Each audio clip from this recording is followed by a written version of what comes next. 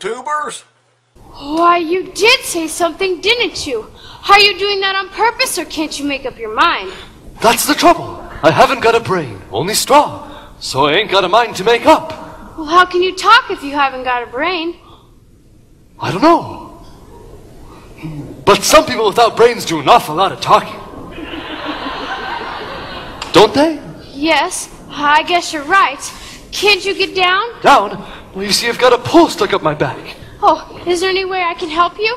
Well, of course, I'm not very bright about doing things, but if you'll just bend the nail down and back, maybe I'll slip off. Oh, I'll certainly try.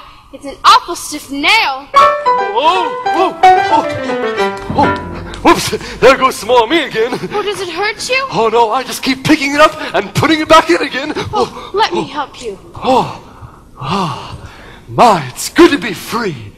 Whoa, whoa, oh, oh, oh, oh. Did I scare you? No, I just thought you hurt yourself. But I didn't scare you. No, of course not. I didn't think so.